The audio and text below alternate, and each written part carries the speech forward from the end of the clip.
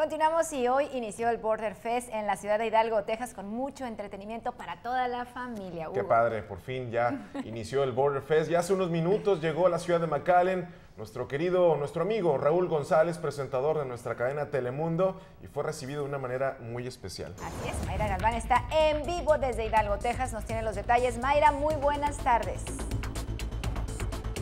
¿Qué tal Dalila, Hugo? Gracias y muy buenas tardes. Estoy muy contenta saludándolos desde Border Fest.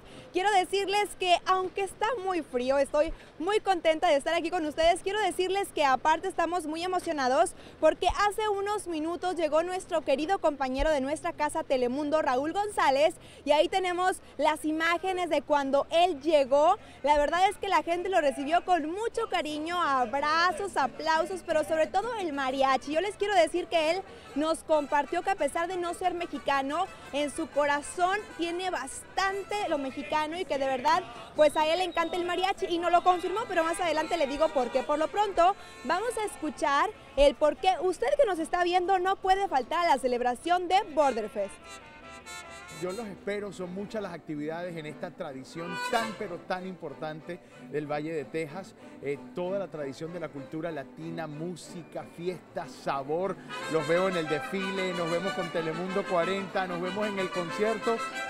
De aquí no me voy, arriba McAllen, arriba el Border Fest 2015. Gracias de corazón de tan, tarán, tan, tan, señor.